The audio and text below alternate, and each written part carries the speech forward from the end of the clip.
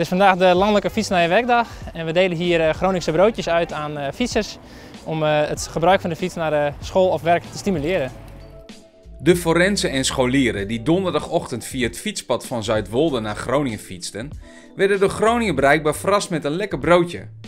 Ook bij het UMCG werd aandacht geschonken aan de landelijke fiets naar je werkdag. Nou, wij willen medewerkers eigenlijk eh, belonen of ook bedanken dat ze met de fiets komen. Um, en die medewerkers kunnen een najaarsbeurt doen met hun fiets. Dus ze kunnen de fiets naar onze fietsenmaker brengen die wij op het terrein hebben. Um, die fietsenmaker kijkt de fiets na. Um, je brengt hem ochtends, ochtends hierheen, je haalt hem middags op en de fiets is weer klaar voor een najaar. En dat ook nog heel voordelig.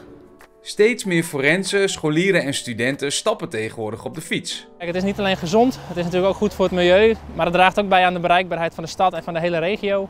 En zeker in coronatijd is het natuurlijk hartstikke goed om eh, op de fiets te pakken, eh, naar de school of naar het werk. Aan de ene kant is het natuurlijk heel goed voor de vitaliteit van medewerkers. Dat vinden we heel belangrijk, ook als UMC Groningen um, en vooral ook met ons speerpunt Healthy Aging.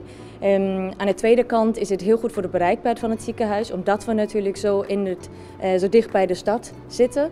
Um, hebben wij niet heel veel parkeerplekken en we zijn natuurlijk ook met de bus heel goed bereikbaar, maar de fiets is gewoon de perfecte, het perfecte middel om hier naartoe te komen. Um, en ten derde helpt het natuurlijk ook bij het verminderen van onze CO2-footprint, maar dus ook van die van medewerkers.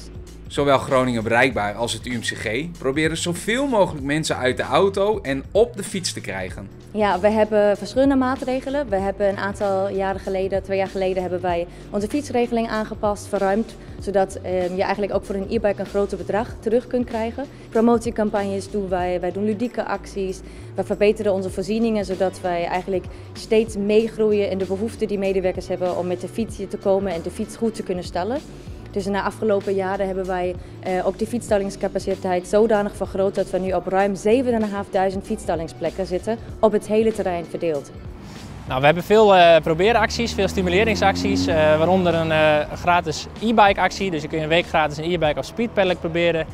we hebben voor ondernemers een actie om een elektrische cargobike te proberen. en we hebben nog een actie lopen voor een elektrische bakfiets. Dus veel stimuleringsacties. De actie voor de najaarsbeurt bij het UMCG geldt tot en met vrijdag 30 oktober. Voor meer informatie over de fietsacties van Groningen Bereikbaar ga je naar www.groningenbereikbaar.nl